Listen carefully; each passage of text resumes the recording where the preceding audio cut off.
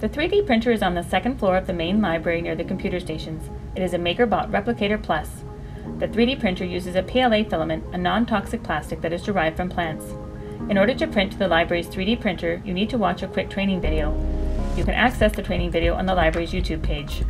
Once you have watched the video, you can email 3D print files to the library and a staff member will let you know whether it can be printed, how much it will cost, and when you'll be able to pick it up. The library is not able to print files that take more than 6 hours. It is a dollar for the first 30 minutes and 50 cents every 15 minutes after that.